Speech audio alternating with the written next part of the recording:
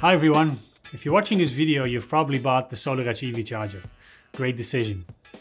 In this video, we'll go through the process of connecting the EV charger to the AC wires and the communication.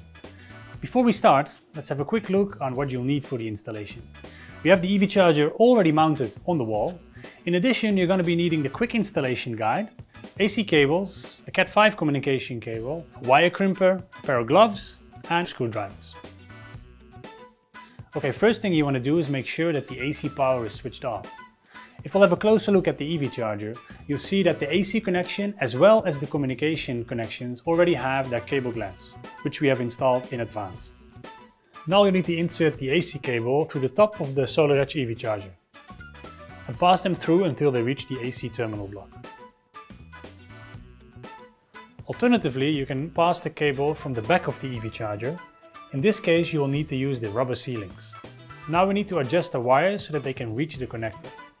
Strip the connection wires approximately 12 mm. Once done, let's connect the wires to the ground, neutral, L1, 2 and 3 ports. If you decide to use a one-phase AC connection, you will be using the ground, neutral and L1 ports. To connect each wire, you need to insert a flathead screwdriver into the supply terminal. Screwdriver must rest on the housing, so basically it's pushing the screwdriver in a 70 degree angle from top to bottom. Press the screwdriver firmly into the terminal until the contact opened completely. In parallel, you need to insert the wires into the port. We're now going to start with the grounding cable. Connect it to the grounding port, then release the screwdriver. Next, we'll connect the neutral L1, 2 and L3 in the same way.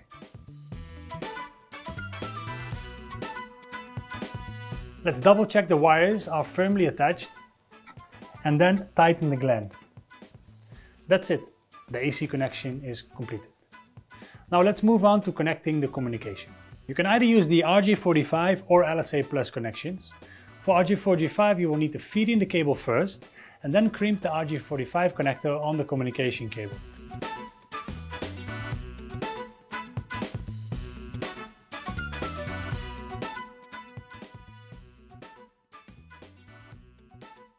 Then insert it into the designated port.